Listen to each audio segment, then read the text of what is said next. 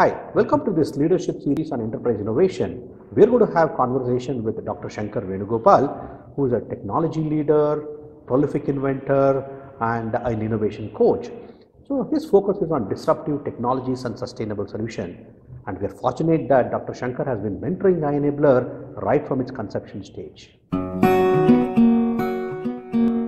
How important is systems thinking uh, for both CTO and CEO? So how do they go about doing this, Shankar? Systems thinking is one tool which is going to bring the CEO and the CTO together. The Okay. CEO is looking at it from a business perspective, and the CTO is looking at it from a technology perspective. Okay. But when you look at it as a system, you are able to factor all these things together Right. so that you are not looking at it from just a narrow filter, Right. but you're looking at it more holistically. Okay.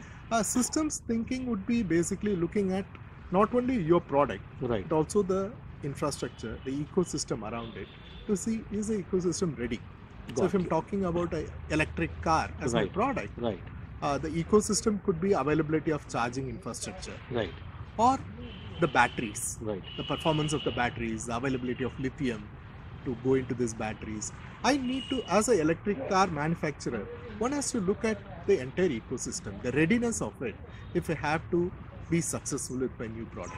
Got So you. systems thinking basically uh, brings in the discipline of thinking not just at the product alone, Right. but looking at the ecosystem, Right. everything around it holistically, making sure that all of them are growing Right. synergistically, Got so that there are no surprises. Right. And so uh, it's not just technology alone. We also have to get in, get the business people Absolutely. in when we are doing the systems thinking. Absolutely. Right. So we, uh, for a long time, Hmm. uh, businesses have been focusing on the shareholders. Right.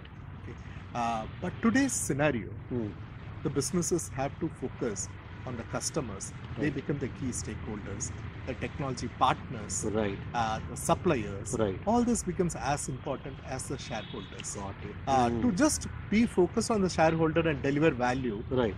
it's fairly straightforward. Got I think most people are trained to do that.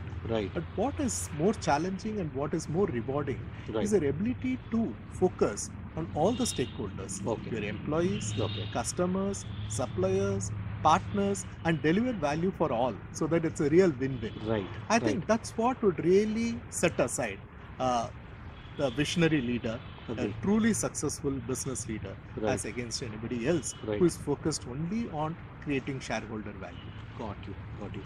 Shankar, and uh, coming to your favorite topic of inventive thinking, uh, do you want to just tell our audience about what is this? When we say inventive thinking, you know, the word innovation, invention is kind of abused. You know, people use it uh, so easily today. Sure. What do you really mean by inventive thinking? Sure. If, if you look back at the kind of uh, stories we have heard about invention, right. uh, like uh, Newton sitting under an apple tree, Right. suddenly getting this idea, Right. or uh, Archimedes, Archimedes, stepping out of the bathtub, Right. suddenly getting this idea. Right. Somehow, uh, the way we have been introduced to invention is Huh. it happens suddenly. Right. Okay, It's like a random uh, act. huh? Random act. Right. Right. and uh, kind of uh, somehow that not that you have so much control over it Okay. you have to just wait for it to happen it Right. happens Right. um, if that is the scenario Right. then businesses cannot uh, invest That's right. Uh, because uh, there is needs to be some reproducibility some structure and systematicity around invention Right. if your entire business is around an inventive idea Right. and you are going to sit under, under a tree and wait Right. forever to, to happen Right. Right. that's not practical Absolutely. so, around 10 years back, I started looking at is there a systematic way to come up with inventive ideas? Uh, first level, ideas which are new, which are patentable, Sure. and at the next level, ideas which actually solve a problem, a real problem, um, which are profitable, which can make money for the business, Sure. and also eventually sustainable in the long term. Sure. So this is how I started my own journey in terms of bringing more structure and a systematic approach to invention and innovation. Sure. So I started my journey with uh, studying uh, TRIZ, theory of inventive problem solving, as a tool to make this happen. Then after spending a few years, I found that um, it's uh, very complex. It takes many years to master it. And whereas I was in a hurry, I, Right. I wanted to see some quick results. Right. So I picked a few tools from TRIZ and built my own methodology, which is uh, leaner and much faster in terms of solving problems and generating ideas.